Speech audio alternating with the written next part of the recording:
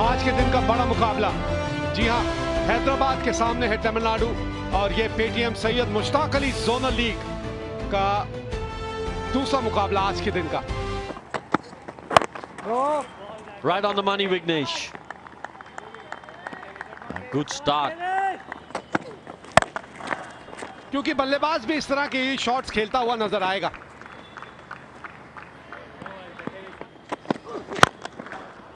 और इस बार चहलकदमी करके मिड ऑन के ऊपर से That's another boundary. In the air. And he gets it. Rahil Shah at mid on. Makes no mistake.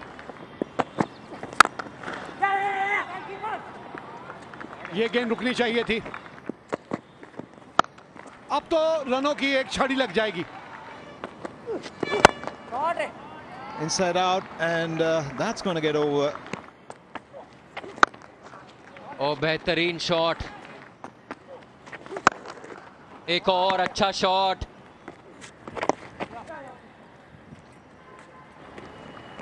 Nice half century in just 31 deliveries, seven boundaries, and a six. Uh, much more to come from Tanmay Agarwal. That's nicely struck. In the gap will be four. That's in the air. Man under the air. He catches it.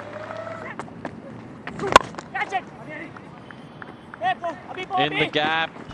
And four. बढ़िया कदमों का इस्तेमाल और गेंद और बल्ले का मिलाप भी बहुत ही मधुर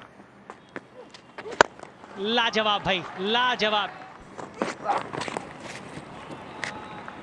भली भांति जानते हैं कि फील्डर्स कहाँ पे हैं आप कमाल हैं भाई एक और शॉट बेहतरीन शॉट फील्डर ढूंढ लिया उन्होंने और सीधा उसकी गोदी में और ये देखिए अगर गेंद पे टाइमिंग ना हो तो क्या होता है Oh, that's gone over the inner field. Might get to the boundary. That's the boundary. और खड़ी कर दी इसे अपने सर के ऊपर। और बड़ी आसानी से उस कैच को पकड़ लिया अभिनव मुकुंद ने। और इसी के साथ हैदराबाद अपने 20 ओवरों में 165 रन बनाने में कामयाब हुई। 165 पे पाँच। तो तमिलनाडु को 166 रन बनाने होंगे इस मैच को जीतने के लिए। और अगर वो ऐसा करते हैं तो जो अंक तालिका है उसमें सबसे ऊपर बने रहेंगे। Well ball first ball on the dot outside edge flies over the slip ah, एक बार फिर उछाल इस तरीके का कि कोई जवाब नहीं था। और नाइस शॉट मैग्निफिसेंट शॉट बहुत ही लाजवाब शॉट जी हाँ। करने तो उनको जो वो करना चाहते हैं क्योंकि वो आपको मौका देंगे और यही हुआ। पारी किनारा आसान सा कैच दूसरा विकेट गिरता हुआ।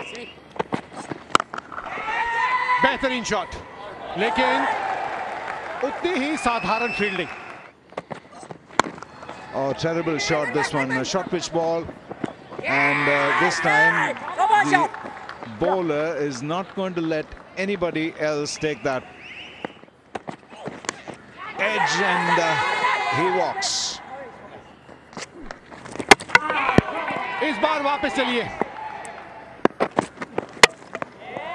चलिए और गहरा होता हुआ ये संकट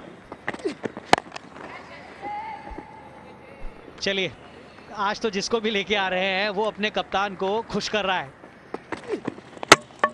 Oh, he's gone. Wicket number nine नौवा झटका लगता हुआ In the air, this should be the fourth wicket. He's going under it. He catches it easily. So that's the fourth wicket. That's the end of Tamil Nadu innings.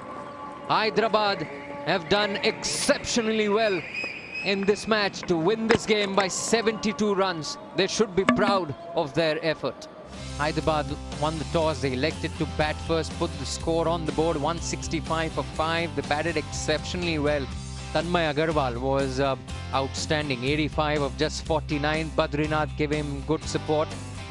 And in reply, Tamil Nadu were all out for 93.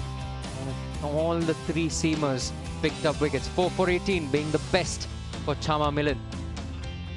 Hyderabad won the game by comfortable 73 runs.